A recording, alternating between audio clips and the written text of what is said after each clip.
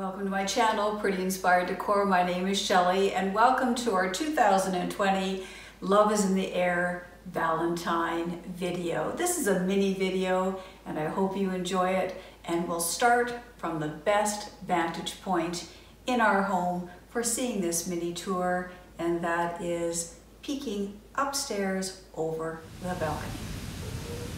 You know, when we first built this house, I I just I just can't tell you how much I looked forward to decorating it and looking at it over this balcony. It's uh, it gives a real neat vantage point into the really the main living area of our house and when we decorate for the seasons, this is where I come and have a peek. I decided to use my blooming candlesticks in our living room. I mean, they, they work beautifully for every single season. Over on the side table, of course, I just think it looks so cute with that little lantern and that particular funky bow. And I'll make a link to that. Um, I created last year for Valentine's and I still really enjoy it. So I just pulled it out again.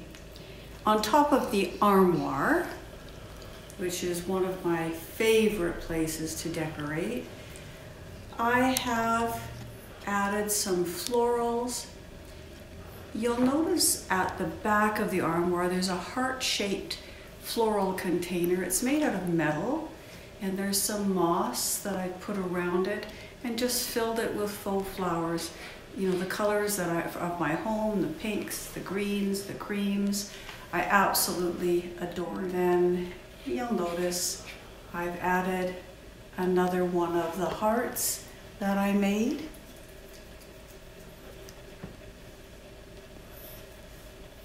And just pop that in there. You'll also notice that I've kept the angels out that I had for Christmas. I've added one to the top of the armoire.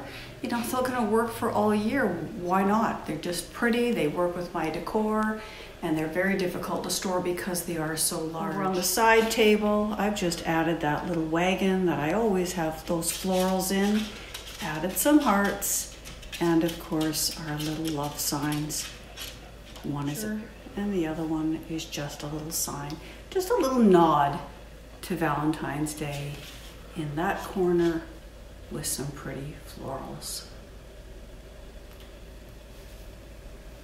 Of course, you know how much I love decorating our fireplace and really swagging some garland on. I've used the same florals that I used last spring and and you know through Easter. I love those roses. You can get them again at Michael's this year in the cream. And the pink isn't quite the same. It's more of a muddy pink, but I mean, they're still so, so pretty. If you take a look uh, on the side of the fireplace, you'll notice I have a lantern that I actually used for Christmas upstairs in our piano room. I just thought, you know, it's winter here in Canada. There's no reason why I can't keep that out. Just thought it was pretty. I enjoyed it. Little church inside. How romantic is that? And then just added that little homemade heart on the top of it. On the top of the fireplace, I love those lanterns and I use those lanterns, you know, for every season. I don't always necessarily have them in our living room, but again, kept them kept the same florals I had at Christmas in. If you take a look beside the lanterns, there's another one of those little boxes. Remember I said I probably will do something with it. In fact, as soon as I was done creating that video that day, I had some time. It was a snowy day, and I decided that that would be really pretty there. And so that's the taller, slimmer box just popped in there. Down the fireplace, again, you'll notice the angel I have kept up. You may be wondering what is in the little trellis. Those are actually little wedding photo props that I bought on clearance at Pier 1 and I just popped them in the trellises on each side and really you know Valentine's Day you some might consider it to be one of the best days ever because it is such a romantic time of the year but when I saw them I thought you know they're my pinks they're my golds they're my greens and why wouldn't I add them somewhere in my home you're wondering what I did with the other refurbished or repurposed box that we made just a, just a, a, a little over a week ago, I guess.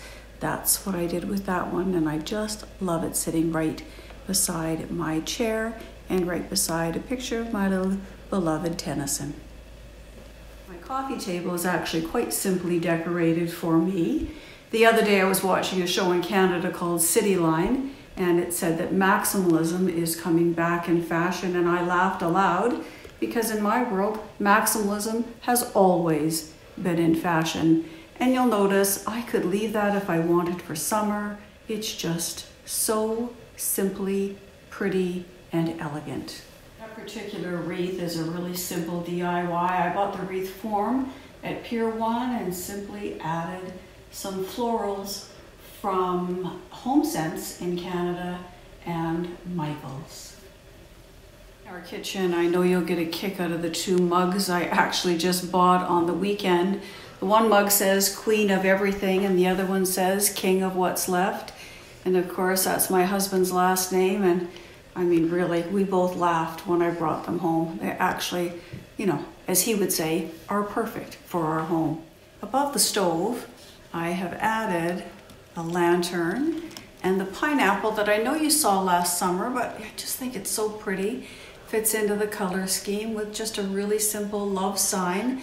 It was a DIY from Michaels that I created last year, like super, super simple. Now in our favorite uh, room of the house, at least for decorating that is, and that is the little tiny dining room that we have. And just love that particular china cabinet. And it's always fun to put fun things you know on it including the garland. If you take a look there's a love one another sign up in the corner. I bought that that was actually part of michael's fall collection. And in canada it was over $50 and when fall was over i walked into michael's and they had a sale bin and i got it for $4 and i thought perfect for valentine's day Four dollars. How great was that? Our dining room table, I've kept that again simple for me with my creams and golds and my pinks, my soft, soft pinks. The whole room just looks soft and pretty and romantic and really fits in with the theme that I wanted this year. Really planned to decorate in pinks and golds and creams in really our whole home and, and, and it worked in here as well. So we're back to where we started our 2020 Valentine series back in our kitchen window. It's it's it's such a fun place to decorate. And so I thought you have, could have another little tiny peek at it. Until we see each other next week, where I ha will have our table all set for Valentine's Day, and I hope you come back to take a peek at that. You're going to see some new dishes that my husband bought me for Christmas, believe it or not. Not a whole set or anything, but some really pretty accent dishes that I thought would be perfect for Valentine's Day, even though they're not meant to be for Valentine's Day, but they'll work. So until we see each other next time, please don't forget to subscribe to the channel if you have not already done so. Click that little bell so you get notification of future videos. And until we see each other again next week, bye-bye.